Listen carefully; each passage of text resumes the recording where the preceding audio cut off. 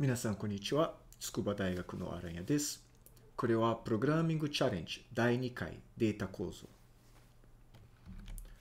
今回のビデオでは Union Defined Disjoint Set UFDS というデータ構造についてを説明します。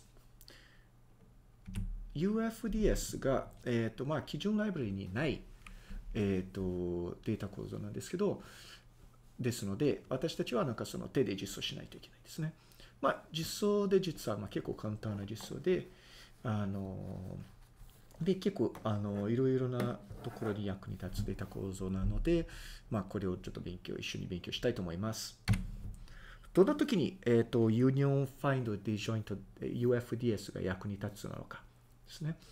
この課題を考えてみてください。あの、これはコンピュータのネットワークについての課題です。コンピュータのネットワークでは、あの、N コンピュータが入ってます。ですね。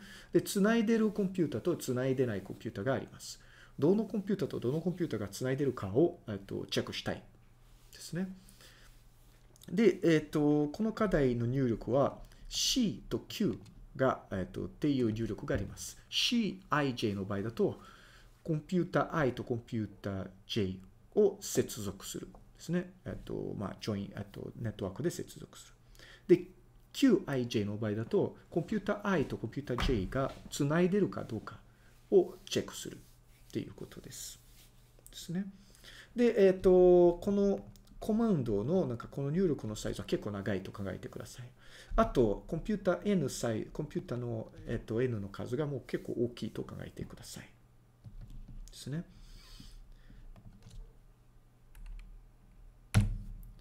では、あの、これは単純で考えると、あの、コンピュータ I とコンピュータ J をつないでるかどうかをチェックするために、二次元の行列を考えられますですね。で、えっ、と、例えば、connect ij が、えっ、と、I と J をつないでる場合だと1、I と J をつないでない場合だと0ですね。で、I と J だけでつないでるだとわかるけど、例えば、I が J につないで、J が K につないでる。そうすると、I と K がもうつないでるんですね。あと JK 色で。それをチェックするために、えっ、ー、と、まあ、幅より探索が必要ですね。で、そう考えると、新しい、えっ、ー、と、コンピューターつな、コンピューター I と J をつなぐには O of 1。これ結構早いですね。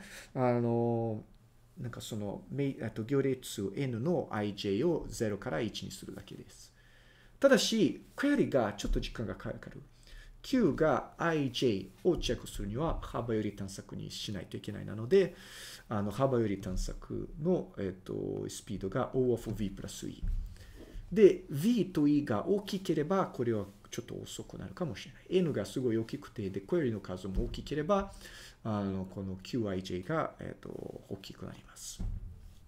ですので、もっと早くできること、もっと早くすることができます。そのために、えっと、この I と J がつないでるかどうかを早くチェックするためのデータ構造が UFDS です。では、UFDS の基本的なアイディアを考えましょう。UFDS の基本的なアイディアが、セットのいくつかのセットを保存するデータ構造です。ですね。ここみたいに、一つのセットが310、32、340。で、もう一つのセットが7、5、8、11。で、もう一つのセットは6と9。で、もう一つのセットが12。ですね。それぞれのセットが、えっ、と、その、根の頂点が、えっ、と、代表ですね。だから、このセットの代表が3と5と6と12。で、2つのセットを、あと2つのコンピューターがつないでるかどうかをチェックするために、その2つのコンピュータの代表が同じかどうかをチェックする。例えば0と10が、えっと、つないでるかどうかをチェックするため、0の親1、1の親3。じゃあ0の代表は3。10の親4、4の親が3。だから10の親が3。これだけをチェックすると、えっと、0と10が同じセットに分かる。で、Union Find Disjoint Set の実装の時に、まあ、この木構造はできるだけ浅いっていう確保すれば、これは早くなる。で、えっ、ー、と、2つのセットをジョインする。例えば10と11をジョインするには、えっ、ー、と、3と5代表をジョインすると同じとなります。で、ジョインするときと、えっと、チェックするときに、えっと、こういうふうな木構造を、えっと、浅くすることです。ちょっとビジュアルアルゴでこれを見てみましょう。はい。これは、えっと、UFDS の可視化です。ここで、えっと、3つのセットがあります。で、あとアイテムが0から10。ちなみに UFS、UFDS の場合だと、最初から全てのアイテムをあの記録しないといけない。小期間の時だと、全ては1つですね。イニシャライズが、例えば 12n で12。で、こうすると、こんな感じになります。あ、ん？すみません。12n で12。これは UFDS の初期化です。で、えっと、チェックするとき、例えば7と11をチェックするには、7の親が7。11の親が12。だから、あと、それぞれは違うセットになります。で、ユニオンすると、例えば9と7をユニオンすると、まず9と7を同じかテストして、で、両方を、えっと、ジョインします。で、あとは、例えば、えっと、4と5をユニオンして、で、同じセットに、えっと、なりました。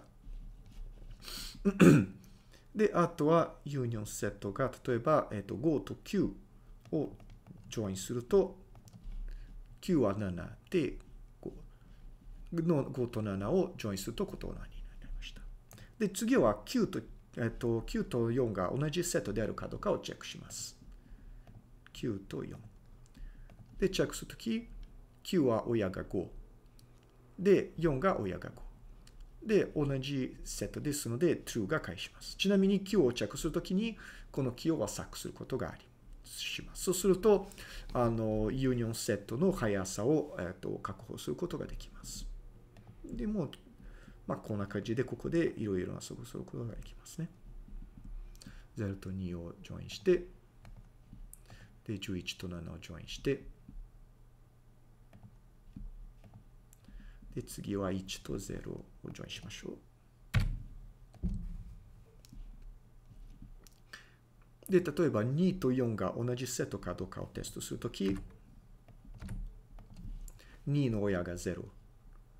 で、4の親が5。で、0と5が違うので、この2つのセットが、えっと、違います。ですね。で、ユニオンすると、例えば2と4をユニオンすると、親が0と、こっち親が5た0と5をユニオンします。まあ、こんな感じが、えっ、ー、と、ユニオン、ディジョイントセットのアイディアです。で、これは実際にどうやって実装するかっていうと、まあ、この1枚のコードで、えっ、ー、と、ユニオン、UFDS を実装することができます。アイディアとしては2つの行列が必要。P は、えっ、ー、と、その親を保管する行列です。で、R が、あの、その、キーの高さを、えっと、保存する行列です。あとは、まあ、データの行列も必要ですね。これは、I、えっと、インデックスを保管する行列,、えっと、行列です。で、まずは find。findX が X の親を返します。ですね。X は自分の親と同じであれば、まあ、ルートに戻りま、たどり着きましたので、X を返します。X の親が別であれば、X の親が findX になります。ちなみに、ここを書き方をあと見てください。X の親を探し探しながら、X の親も帰ります。この一行だ、この一行が X の親を見つかるだけじゃなくて、X の親はルートではなければ、X の親はルートにすることになります。これをなんかちょっとよく解析してください。で、X と Y をジョインするには、まず X と Y が同じかでか。ちなみに X と Y を一生チェックするには findX イコール findY をテストするだけです。